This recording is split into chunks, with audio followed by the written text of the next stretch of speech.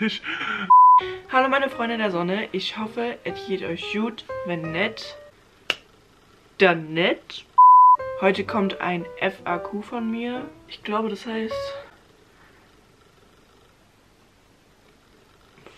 Was heißt denn FAQ, Alter?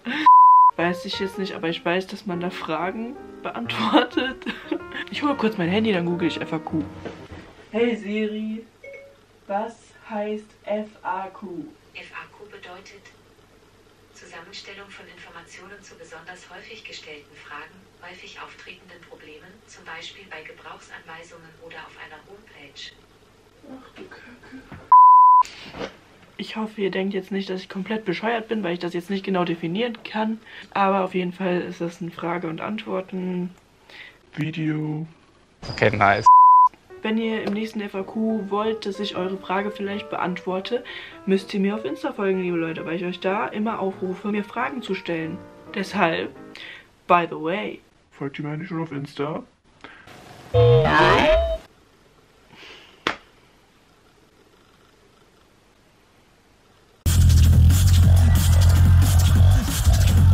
Also ich habe mir hier in dieses Buch häufig gestellte Fragen bzw. interessante Fragen reingeschrieben. Die erste Frage ist, bist du zufrieden mit deinem Aussehen? Ja, liebe Leute, also ich... Also ich würde sagen, dass ich schon zufrieden bin mit meinem Aussehen. Irgendwo gibt es so kleine äh, Problemzonen, wie bei jedem anderen auch, denke ich mal. Ja, wie soll ich das sagen, liebe Leute? Insgesamt bin ich echt zufrieden mit mir selber, aber so... Ich würde schon gerne noch an meiner Figur arbeiten, weil ich früher, wo ich so ein bisschen dünner war noch, echt zufrieden war, liebe Leute. Ich war wirklich zufrieden. Ich versuche das mal zu erklären. Wenn das hier absolut unzufrieden ist und das hier absolut zufrieden und mein Kopf jetzt die Skala bestimmt, ähm, wäre ich hier. Aber Leute, was ich euch sagen kann, ist, dass ich wirklich schon länger im Kopf hatte, dass ich wirklich ähm, ein bisschen was an meinen Lippen machen möchte. Ach du Heilige. Ja, vielleicht ähm, kommt da was auf euch zu oder auf mich zu. Also eure Lippen werden nicht aufgespritzt, keine Sorge. Ansonsten bin ich wirklich happy.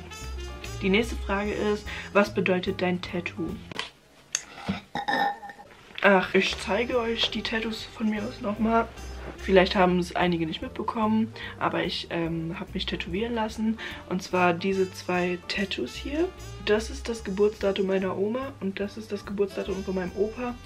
Und äh, ja, dementsprechend stehen sie halt für meine Großeltern und dass sie halt von großer Wichtigkeit in, meiner, in meinem Leben sind oder sprechen oder sind. Toll, da wollte ich gerade einen schlauen Satz droppen.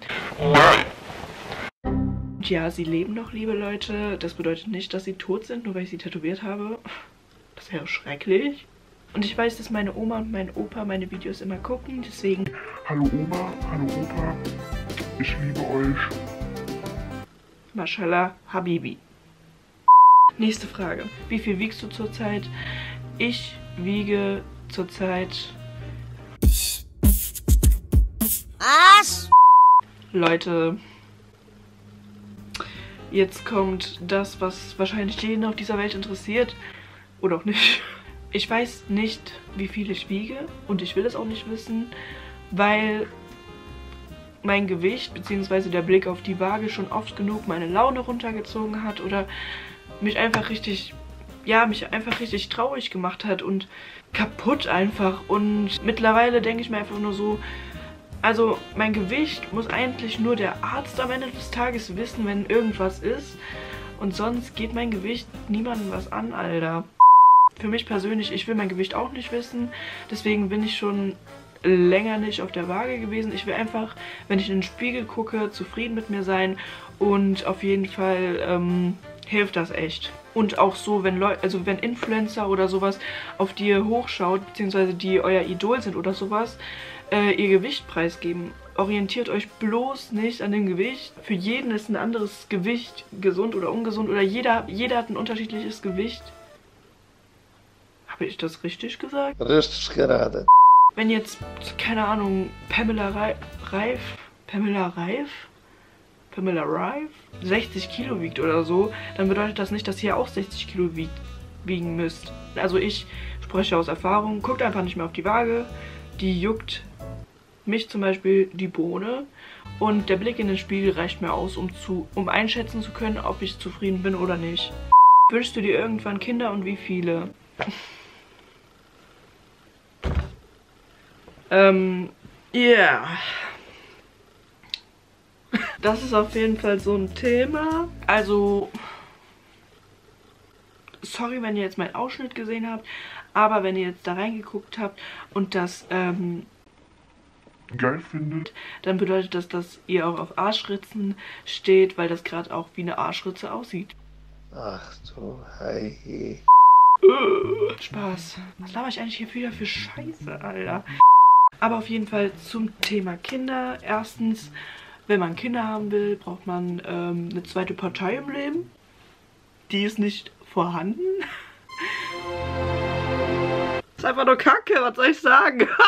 ich bin 18 und jetzt, zu diesem Zeitpunkt, denke ich überhaupt nicht an Kinder, liebe Leute. Kinder, äh, ähm, also aktuell, ich kann mir aktuell gar nicht vorstellen, Kinder zu kriegen, auch nicht in fünf Jahren. Ich bin ein sehr loster Mensch, wenn man das so sagen kann.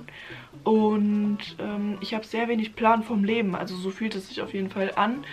Und man sagt ja auch, dass, ähm, weiß nicht, so Leute in meinem Alter denken, die wüssten schon alles über das Leben. Aber nein, es fühlt sich so an, als ob ich keine Ahnung vom Leben habe und ähm, mir sehr viel unter die Arme gegriffen werden müsste, weil ich es sonst alleine nicht schaffe ich fühle mich nicht in der Lage, einem anderen Menschen zu erklären, wie die Welt funktioniert und wie sie nicht funktioniert. Klar, jetzt werden einige sagen, ja, das lernt man selber mit der Zeit und bla bla, keine Ahnung. Bla, keine Ahnung, man, man hört niemals auf, Erfahrung zu sammeln. Ja, das stimmt auch. Ich glaube, ich würde das nicht packen und deswegen nein. Aber an sich, wenn ich äh, irgendwann mal Kinder haben wollen würde oder so, fände ich 28 wäre ein gutes Alter für mich. Und äh, die nächste Frage ist, hättest du gerne eine Beziehung? Also ich denke, jeder von uns will auf irgendeine Art und Weise ein bisschen Zuneigung bekommen. Das ähm, trifft auch auf mich zu. Aber ähm, ich glaube, die kriege ich halt von meinen äh, Freunden. Aufmerksamkeit auf jeden Fall. Aber so liebestechnisch, Bitch, ich glaube, ich wäre nicht in der Lage, aktuell ähm, mit jemandem eine Beziehung zu führen, weil ich einfach mich so ein bisschen auf mich konzentrieren will. Und ich glaube, ich bin einfach noch nicht bereit dafür. Und ja. So, ich denke, dass Freundschaften so das Bedürfnis von Aufmerksamkeit ein bisschen abdecken können. Zwar nicht so krass wie eine Beziehung, aber ich bin zufrieden, so wie es ist. Und ja. Bist du eher Optimist oder Pessimist? Ähm, Girl, eindeutig Pessimist. Also wirklich, ich sehe in allem das Schlechte, damit ich nicht vom Schlechten überrascht werden werde. Punkt. Weil, wenn man schon vom Schlechtesten ausgeht, wird man nicht noch trauriger, wenn es wirklich schlecht wird. Versteht ihr, wie ich meine? Also, okay. ist eigentlich eine schlechte Eigenschaft, aber YOLO. So ist es halt. So bin ich als Mensch einfach gebaut. Wie schaffst du es immer so gechillt zu bleiben? Wo hast du die Wortwahl? Also an sich, ich weiß nicht, ob ich ein gechillter Mensch bin. Ich denke schon, dass ich ähm, so Stresssituationen nicht so krass nach außen trage, wenn ich gestresst bin. Ich bin dann eher für mich und heul dann eine Runde. Viele fragen mich auch, äh, bist du bekifft oder so immer? Nein, Leute, ich bin... Also, keine Ahnung, ich bin einfach so, wie ich bin. Wenn man jetzt irgendwie hier großartig Stress schiebt und so, das wird jetzt nichts an der Situation ändern. Deswegen kann ich es auch gar nicht leiden, wenn ich angeschissen werde oder andere Leute angeschissen werden. I don't know. Man sollte aufhören, großartiges Drama wegen Sachen, die schon passiert sind, zu schieben. Es sei denn, du hast jemanden umgebracht, Bitch. Dann musst du damit rechnen, dass man dich ankackt. Aber sonst chill doch einfach mal deine Arschhaare, denke ich mir dann immer. Wisst ihr, man kann auch einfach mal chillen. Oh. Ich hoffe, es hat euch gefallen. Wenn nett, dann nett. Wenn ihr noch Fragen habt, die euch interessieren und die ich in meinem nächsten FAQ beantworten soll, dann folgt mir auf Insta. Tschüss. Hi, welcome to Chili's.